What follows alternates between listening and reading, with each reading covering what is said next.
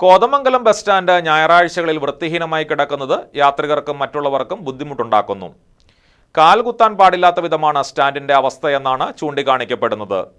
തെരുവു നായ്ക്കളുടെ ശല്യവും സ്റ്റാൻഡിനുള്ളിൽ ഉണ്ടാകുന്നുണ്ട്. നൂറുകണക്കിന് യാത്രക്കാരും മറ്റു പൊതുജനങ്ങളും എത്തുന്ന ബസ് സ്റ്റാൻഡ് അങ്ങേയറ്റം വൃത്തിഹീനമായാണ് ഞായറാഴ്ചകളിൽ കാണാനാകുക. എല്ലാത്തരം മാലിന്യങ്ങളും ഇവിടെ അടിഞ്ഞുകൂടുന്നുണ്ട്. ഭക്ഷണാവശിഷ്ടങ്ങൾ ഉൾപ്പെടെ സ്റ്റാൻഡിനുള്ളിൽ കാണാം. രൂക്ഷമായ ദുർഗന്ധവും പലപ്പോഴുമുണ്ട്. തെരുവു നായ്ക്കളും സ്റ്റാൻഡിനുള്ളിൽ സ്ഥിരം കാഴ്ചയാണ്.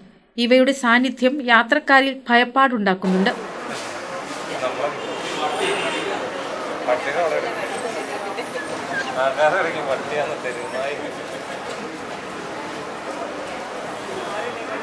ഞായറാഴ്ചകളിൽ മുനിസിപ്പാലിറ്റിയുടെ ശുചീകരണ വിഭാഗം ജീവനക്കാർ അവധിയിലായതാണ് സ്റ്റാൻഡിന്റെ മോശം അവസ്ഥയ്ക്ക് കാരണം.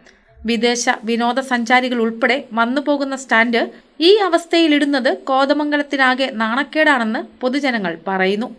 ഇക്കാര്യത്തിൽ അധികൃതരുടെ ഇടപെടൽ വേണമെന്നാണ് ആവശ്യം.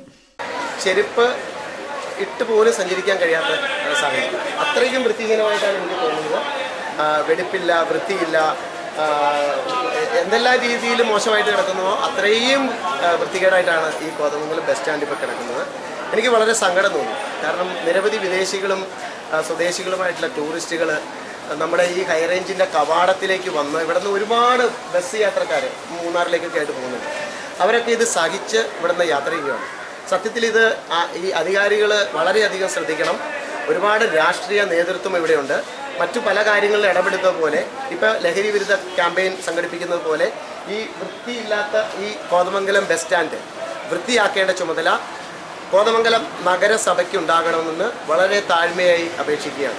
K C V news Kothamangalam.